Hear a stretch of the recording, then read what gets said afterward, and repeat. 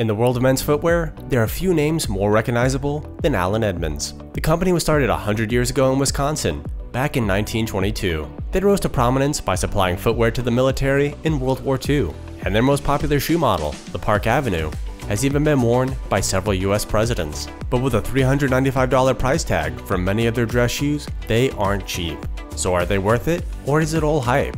Thomas with Real Men Real Style here, and in today's video, I'm going to uncover whether Allen Edmonds are still worth it 100 years later. Now I own two pairs of Allen Edmonds, specifically their Park Avenues and Strands, two of their most popular styles. I've owned both pairs for around 7 years, and they're both still in great shape. Allen Edmonds does have a lot of other dress shoe styles, as well as boots and sneakers, but I'm mainly going to focus on their dress shoes, which they're best known for. First, let's talk about construction quality. Allen Edmonds shoes are manufactured in the US, in Port Washington, Wisconsin. The upper is made from calfskin leather, which is strong but more flexible and smoother in texture than cowhide, and it's easier to break in. The shoes have a leather lining and a custom cork footbed, which will mold to the shape of your foot over time, making them even more comfortable. The soles are made from vegetable tanned leather, though they do offer options to add a rubber sole if you want more traction. Their shoes are made with a 360 degree Goodyear welt, which is the most durable and water resistant construction method.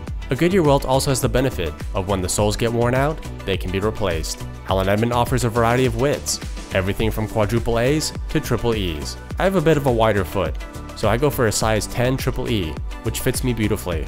So if you require a particular width, you'll find exactly what you need. Honestly, they're very comfortable to wear. I often go swing dancing in my strands, and they've never let me down.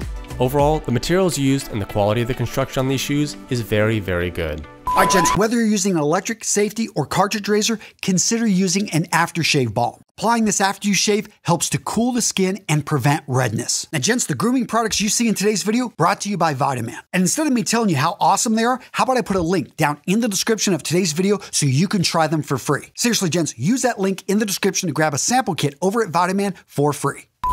Now let's talk about style. The Park Avenue and Strand are made on the Allen Edmonds 65 last, which is their most popular shoe last. It's a bit more elongated in the toe than some of their other options, but it's still not as long as European style dress shoes. Now for all the benefits of that Goodyear welt, it is going to result in a chunkier sole, compared to if the shoe used a Blake stitch instead. So the dress shoes aren't going to be quite as elegant or streamlined as some other brands of shoes that take their inspiration from Italy or Britain. That said, these are classic American styles that still look great.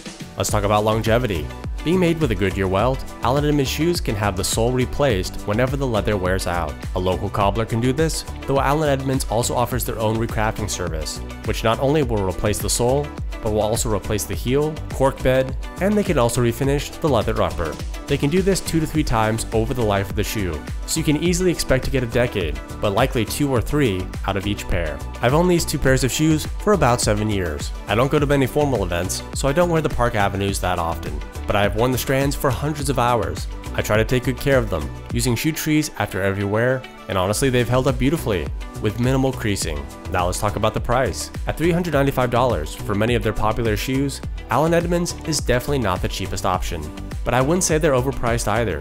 They're pretty middle of the road compared to companies like Beckett Simonin and Ace Marks, which are between 2 to $300, while other brands like Alden and Church's quickly climb from $500 up to $1,000. Now, Allen Edmonds does have a big anniversary sale every year in April, with around a 15% discount on popular shoes like the Strand and Park Avenue. I will say, the best deals can be found on their Factory Seconds website, which has shoes that have minor blemishes. That's actually where I got this pair of strands, for about $250 back in 2015. I couldn't even find the defects that prevented them from selling it at full price. So in conclusion, would I recommend getting Allen Edmonds? For me, the answer is yes. Even after 100 years, the quality is still there, and I would happily buy them again, even at full price. I personally love the American style of dress shoes. They look great and are super comfortable, so I'm always looking for excuses to wear them, versus some of my cheaper shoes that I have in my closet. Shoes at this price point are an investment, so it's a bit painful to buy up front, but they will last so much longer than those cheaper pair of shoes.